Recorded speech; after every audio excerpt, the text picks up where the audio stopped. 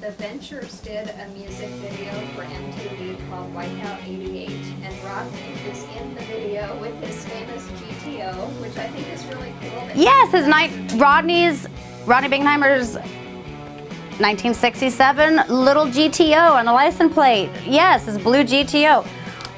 The Ventures have Rodney in the music video on MTV in 1988, and I cannot remember the name of the song. Staci, Wipeout 88, and Rodney's in the video. So that shows appreciation of music, and also the musicians having appreciation for people who appreciate them, like the Ventures. And that's why I think that Rodney and Don Wilson still have a good, long-standing relationship to this day, and will always be friends, and always have been.